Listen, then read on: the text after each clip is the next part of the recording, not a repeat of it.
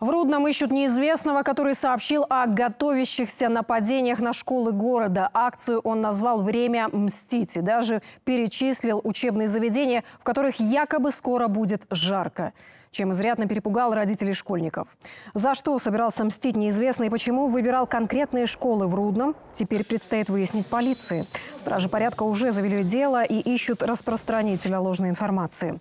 Напомню, аналогичные сообщения появлялись в социальных сетях касательно других городов, в том числе и столицы. И практически везде виновники были найдены и наказаны. Данный факт зарегистрирован в полиции. Проводятся соответствующие мероприятия по установлению автора публикации. Просим граждан не поддаваться на провокации, не допускать перенаправления сообщения и доверять лишь официальной информации.